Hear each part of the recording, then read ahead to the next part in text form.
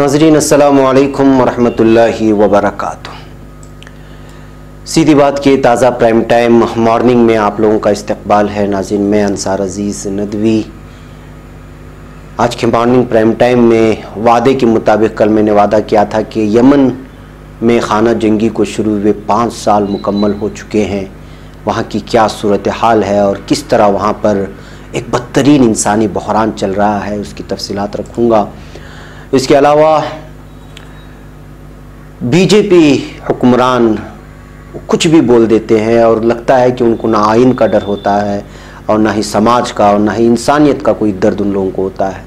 بنگال کی B J پی نے اس وقت کہا ہے کہ جادو پور یونیورسٹی ملک مخالف عناصر کا اڈا بن چکا ہے، لہٰذا سرجیکل اسٹرائک کی وہاں پر ضرورت ہے۔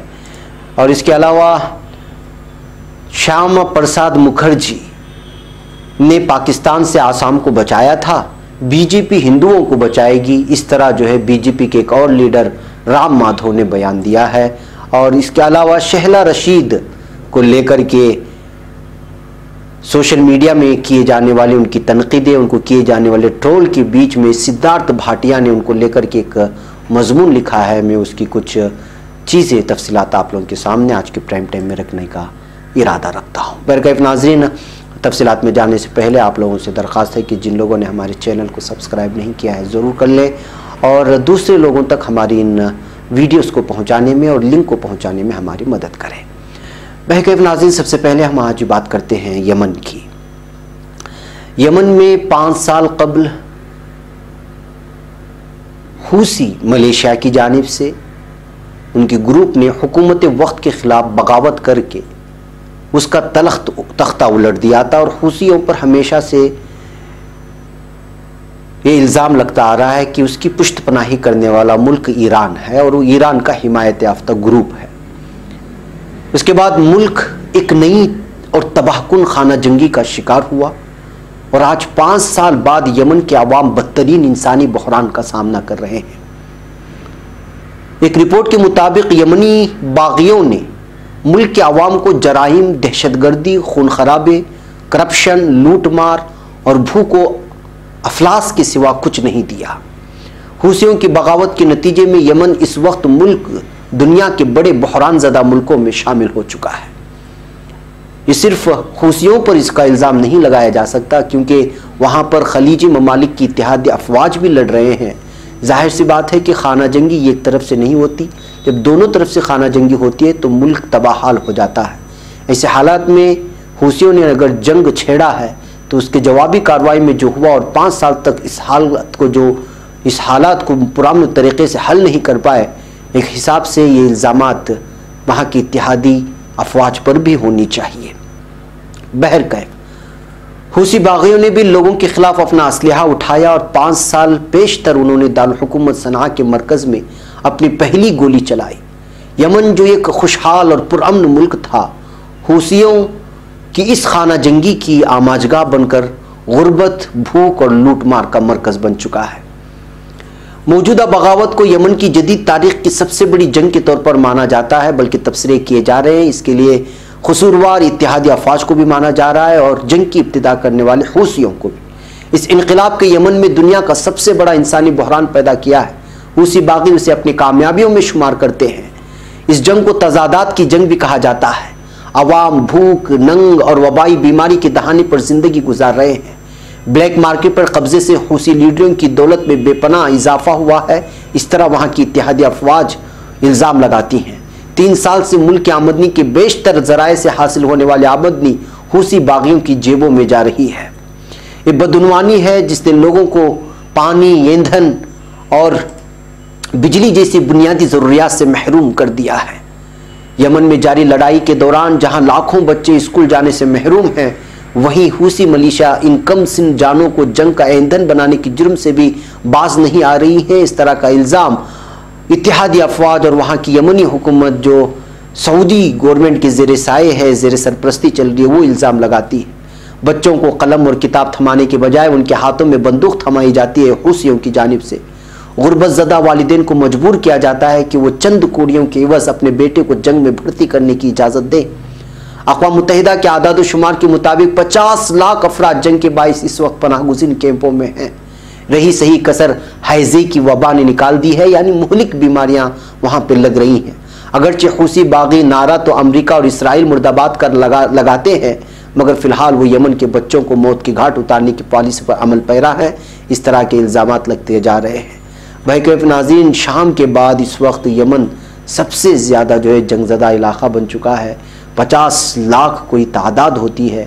جس میں لوگ متاثر ہو چکے ہیں اور ہر دن یہاں پر امواتیں ہوتی ہیں، کبھی اتحادی افواج کی وجہ سے پوری تباہی و بربادی ہو ناظرین گرامی، سیدھی بات اپنے ممبرشپ کارڈ کے آفر کے بعد تاجروں کے لیے لے کر آ رہا ہے ایک اور انوکھا آفر۔ اپنے حلال تجارت کا اشتہار یعنی ایڈورٹائزمنٹ ایک سال کے لیے سیدھی بات میں کریں اور پورے ساٹھ فیصد رعایت پائیں۔ جلدی کریں، کہیں دیر نہ ہو جائے۔ مزید جانکاری اور تفصیلات کے لیے اس نمبر پر واٹس اپ کریں۔ نمبر ہے nine double six three zero two seven double four nine. اور کبھی خود حوثی جو ہے وہ جو ہے وہاں کے مقامی لوگوں کو نشانہ بناتے ہیں، بستیوں کو تباہ کرتے ہیں۔ ایسی کئی خبریں ہم لوگ روزانہ آپ کو دکھاتے ہیں۔ ایسے حالات میں ناظرین ہمیں اندازہ لگا سکتے ہیں کہ اس وقت مشرق وسطی میں کیا ہو رہا ہے اور مسلمانوں کی حالت پورے عالم میں کیا بنتی جا رہی ہے۔ اب سب سے بڑا سوال یہ ہے کہ اس کی وجہ کیا ہے۔ اس کی وجہ یہ ہے کہ عالم اسلام میں اس وقت جو ہے صرف اپنی کرسیوں کو بچانے کے چکر میں ہے اپنی بستی اور اپنی کرسیوں کو بچانے کے چکر میں عام مسلمان اپنے جان سے ہاتھ دھو رہے ہیں۔ اور وہ ایک، دو، تین، چار یا سینکڑوں کی تعداد میں یا ہزاروں کی تعداد میں نہیں، بلکہ لاکھوں کی تعداد میں لوگ جو ہے اپنی جانیں طلب کر رہی ہیں۔ یہ جو ہے حکومتی اور اقتدار کی حوث اور پوجا کے پیچھے۔ بحق ناظرین، اب ہم بات کرتے ہیں ہندوستان کی ان لیڈران کی، بی جے پی ان لیڈران کی، جو کچھ نہ کچھ بیان دے کر کی جو ہے حالات کو خراب کرنے کی کوشش کرتے ہیں۔ مغربی بنگال میں بی جے پی صدر دلیپ گھوش نے گزشتہ جمعہ کو الزام لگایا کہ جادو پور یونیورسٹی کیمپس ملک مخالف عناصر اور کمیونسٹوں کا اڈا بن گیا ہے۔ ہمارے کیڈر کو چاہیے کہ اس کو ختم کرنے کے لیے وہاں بالاکوٹ کی طرز پر سرجیکل اسٹرائک کریں۔ گھوش نے الزام لگایا کہ ریاست میں ترنمول حکومت مرکزی وزیر بابل سپریو کا قتل ہونے تک ہاتھ پر ہاتھ درے بیٹھی رہی تھی۔ انہوں نے کہا کہ وہ اس واقعے کے بارے میں مرکزی وزیر امت شاہ کو خط لکھ کر بتائیں گے۔ گھوش نے ایک پریس کانفرنس میں کہا جادو پور یونیورسٹی ملک مخالف اور کمیونسٹ سرگرمیوں کا اڈا ہے۔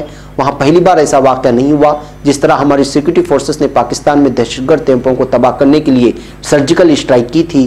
جادو پور کیمپس میں ملک مخالف اڈوں کو تباہ کرنے کے لیے ہمارے کارکنوں کو اسی طرح کی سرجیکل اسٹرائک کرنی چاہیے۔ یعنی دوسری زبان میں کہا جائے تو گھوس جو ہے وہ ایک مرتبہ پھر یونیورسٹی کے اندر سول وار اور ایک دوسرے کو لڑانے کی کوشش کر رہے تھے۔ گھوش نے یونیورسٹی میں سپریو کو بھیڑ سے بچانے کے لیے گورنر جگدیپ دھن کھڑگے وہاں پہنچنے کے فیصلے کی حمایت کی۔ انہوں نے کہا، ریاستی حکومت خاموش بیٹھی تھی اور سپریو کے مارے جانے کا انتظار کر رہی تھی۔ انہوں نے جادو پور یونیورسٹی میں لا اینڈ آرڈر کو کنٹرول میں نہیں رکھ پانے کی وجہ سے وہاں کے وائس چانسلر سرنجن داس کے فوری طور پر استعفے کی مانگ کی تھی۔ ناظرین، یاد رہے کہ سپریمو، سپریو کو جادو یونیورسٹی میں کالے جھنڈے دکھائے گئے تھے اور ان کے ساتھ دھکا مکی بھی ہوئی تھی۔ جگدیپ دھن کھٹر، جو یونیورسٹی کے وائس چانسلر بھی ہے وہ پولیس کے ساتھ وہاں سپریو کو بچانے پہنچے تھے۔ معلوم ہو کہ گزشتہ انیس ستمبر کو بی جے پی سے لکنی پارلیمان اور مرکزی وزیر بابل سپریو اکھل بھارتیہ ودیارتھی پریشد اے بی وی پی کے ایک پروگرام میں حصہ لینے کے لیے جادو پور یونیورسٹی پہنچے تھے، جہاں پر طلبہ نے ان کا مکمل طور پر بائیکاٹ کرتے ہوئے ان سے دھکا مکی کی تھی اور ان کے خلاف نعرے لگائے تھے اور اس کے بعد وہاں حالات بہت تشدد آمیز ہو گئے تھے۔ اس کے بعد جو ہے یہ ساری چیزیں سامنے آ رہی ہیں اور اس وقت جادو پور یونیورسٹی کو جو ہے بی جے پی اپنے نشانے پر لے رہی ہے، جیسے جو ہے جے این یو ہمیشہ ان کے نشانے پر رہتا ہے۔ بحقب ناظرین، اب بات کرتے ہیں ایک اور بی جے پی لیڈر کی۔ بی جے پی کے قومی جنرل سیکریٹری رام مادھو نے پاکستان کے تناظر میں آسام کے ہندوؤں کو لے کر نیا بیان دیا ہے۔ انڈین ایکسپریس نے اس رپورٹ کو چھاپا ہے۔ رام مادھو نے کہا کہ شیام پرساد مکرجی نے آسام کو پاکستان سے بچایا تھا۔ ہم اب آسام کے ہندوؤں کی حفاظت کریں گے۔ بی جے پی رہنما نے یہ نارسی میں ہوئی غلطیوں کے لیے پچھلی حکومت کو ذمہ دار ٹھہرایا۔ رامادو نے کہا کہ پچھلی حکومت کی ناہلی کی وجہ سے سال انیس سو اکاون میں یہ نارسی آسام کو چھوڑ کر پورے ملک میں کیا گیا تھا۔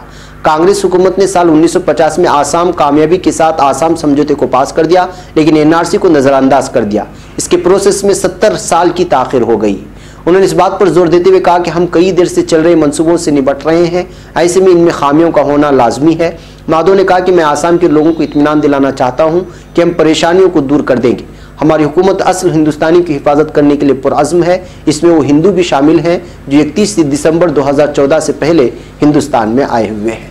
بحقیف ناظرین این آر سی کے بعد بی جے پی، چونکہ انیس لاکھ لوگوں کے نام خارج ہو چکے ہیں این آر سی آسام سے، تو اس کو لے کر کی چونکہ گھیرا گیا تھا بی جے پی کو اور اسی بات کے لیے جو ہے نئے نئے بیانات بی جے پی لیڈران کی جانب سے جو ہے جاری کیے جا رہے ہیں۔ بحقیف ناظرین، آج ہم بات کرتے ہیں شہلہ رشید کی، جو اس وقت سوشل میڈیا میں سب سے زیادہ ٹرول ہوتی ہیں اور بھکتوں کی جانب سے سب سے زیادہ ان کو گالیاں دی جاتی ہیں، ان کی تنقید کی جاتی ہے۔ اسی بات کو لے کر کہ سدھارتھ بھاٹیا، جو ایک مشہور رائٹر بھی ہیں اور قلمکار بھی ہیں اور صحافی بھی ہیں، انہوں نے ایک مضمون لکھا ہے دیوائر کے لیے۔ اس کی تفصیلات آپ لوگوں کے سامنے پیش کرتے ہوئے شہلہ رشید کو سمجھنے کی کوشش کرتے ہیں۔ شہلہ رشید نوجوان ہیں اسمارٹ ہیں، تعلیم یافتہ ہیں، اپنی بات کہنے کا ہنر رکھتی ہیں اور عوامی مسائل سے پورا واسطہ رکھتی ہیں۔ ہندوستان کو ایسی نوجوانوں کی ضرورت ہے، کوئی اور وقت ہوتا تو ان کا ذکر رسالوں کی پسندیدہ young Indians to look for یا تھرٹی انڈر تھرٹی جیسے فہرستوں میں ہوتا۔ لیکن آج وہ سیڈیشن کے الزامات کا سامنا کر رہی ہے۔ اور ہندوستان کی آن لائن اور یقینی طور پر آف لائن آبادی کا ایک بڑا بولڈ حصہ ان سے نفرت کرتا ہے اور ان کو گالیاں دیتا ہے، ان کو غدار بتا کر ٹرول کیا جاتا ہے اور ان کو لے کر سینکڑوں طرح کے نازیبا میمز شیئر کیے جاتے ہیں یعنی کارٹونز۔ میمیک جس کو کہا جاتا ہے۔ سیڈیشن کا سنگین الزام یہ بتاتا ہے کہ اقتدار انٹرنیٹ کی بھپتی بازوں سے متفق ہے کہ وہ ایک خطرناک انسان ہے۔ فی الحال کے لیے ان کو کورٹ سے عبوری راحت مل گئی ہے، لیکن یہ بدل سکتا ہے اور ایسی صورت میں وہ لمبے وقت کے لیے جیل بھی جا سکتی ہیں۔ اوپر ان کے جن اوصاف کا تذکرہ کیا گیا، شاید وہی رائٹ ونگ اور ہندوتوا کے لٹھیتوں اور اقتدار کو ناراض کرتے ہیں۔ وہ ان صرف ان کو پریشان کرتی ہیں، بلکہ دنیا کو لے کر ان کے نظریے کو خطرے میں ڈالتی ہیں۔ اس میں اگر یہ جوڑ دیا جائے کہ وہ کمیونسٹ ہیں، ایک خاتون ہیں، ایک مسلم ہیں، ایک کشمیری ہیں تب وہ ان کے لیے اور باعث نفرت بن جاتی ہے۔ عورتوں سے اپنے حد میں رہنے کی امید کی جاتی ہے اور مسلمانوں کی بھلائی اسی میں ہے کہ وہ سر جھکا کر اپنی زندگی گزارے، نہ کہ سب کا دھیان اپنی طرف کھینچے۔ کشمیری کو جو ہندوتو وادیوں کی نظر میں تب تک دہشت گرد ہے جب تک کہ اس کے الٹ ثابت نہ ہو جائے۔ زبان پر تالا لگا کر رکھنا چاہیے۔ رشید نہ صرف بولتی ہیں، بلکہ بلند آواز میں وضاحت اور پورے دمخم کے ساتھ بولتی ہیں۔ یہ نشانزد کرنا بھی اہم ہے کہ وہ کبھی آپا نہیں کھوتی۔ ان کی آواز ہمیشہ نرم ہوتی ہے اور وہ کافی سوچ سمجھ کر بولتی ہیں۔ لیکن وہ اپنا نظریہ صاف رکھتی ہیں۔ وہ ان بڑے نام والوں جیسی نہیں ہے جو اپنے خیالات کو چھپا لیتے ہیں اور غیر جانبداری دکھانے کے لیے جھوٹی مساوات کی ریاکاری کے پیچھے چھپ جاتے ہیں۔ یہ لفظ دوبارہ سنیں جو اپنے خیالات کو چھپا لیتے ہیں اور غیر جانبداری دکھانے کے لیے جھوٹی مساوات کی ریاکاری کے پیچھے چھپ جاتے ہیں۔ فوج کے ذریعے انسانی حقوق کی پامالی کو لے کر ان کے حالیہ ٹویٹر تبصروں نے نہ صرف انٹرنیٹ کے بھپتی بازوں اور بی جے پی حامیوں کو، بلکہ فوج کو بھی ناراض کر دیا۔ انہوں نے پورے غصے میں فوراً اس کی تردید کی، اس کے بعد ان پر سیڈیشن کا معاملہ جوڑ دیا گیا۔ گزشتہ چند سالوں میں حکومت کھلے ہاتھ سے سیڈیشن کے الزام لگاتی رہی ہے۔ یقینی طور پر اس کی سب سے بڑی مثال تب دیکھنے کو ملی جب جواہر لال نہرو یونیورسٹی میں طالب علموں کی بھیڑ کے دوران مبینہ طور پر ہندوستان مخالف نعرے سنائے دینے کے بعد کنیا کمار اور دیگر کئی پر سیڈیشن کا معاملہ درج کیا گیا تھا۔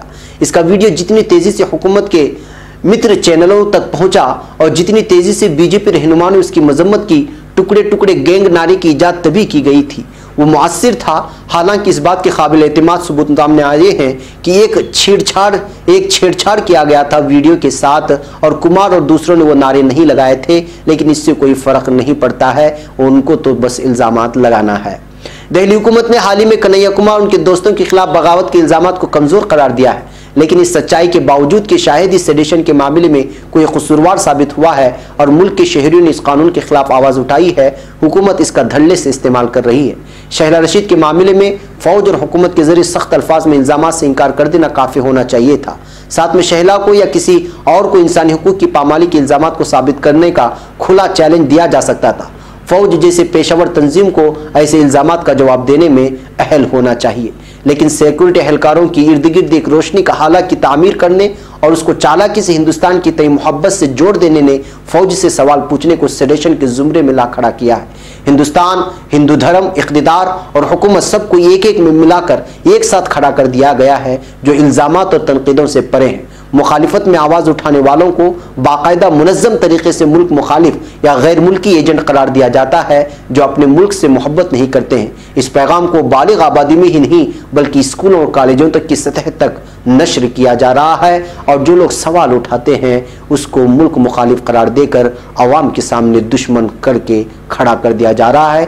یہی وجہ ہے کہ شہلا رشید سب سے زیادہ اس وقت ان لوگوں کی فہرست میں شامل ہوئی ہیں جو سوشل میڈیا میں ٹرول ہوتی ہیں۔ بحق ناظرین، چونکہ یہ سارے مضامین لکھے جاتے ہیں، لیکن عوام کے سامنے نہیں آتے، تو اس حقیقت کو لوگوں کے سامنے لانا بھی لازمی ہوتا ہے اور وہی ذمہ داری سیدھی بات لے کر کے چل رہا ہے۔ ہم دیوائر کے شکریہ کے ساتھ جنہوں نے ان تمام تفصیلات کو سامنے رکھا اور سدھارتھ بھاٹیا، جو واقعی بہت اچھے تبصرے کرتے ہیں، لوگوں کے سامنے حقائق کو لانے کی کوشش کرتے ہیں، پورے انصاف کے ساتھ، ان کے شکریہ کے ساتھ آپ سے اجازت لیتے ہیں۔ پھر ملاقات ہوگی۔ السلام علیکم ورحمۃ اللہ وبرکاتہ۔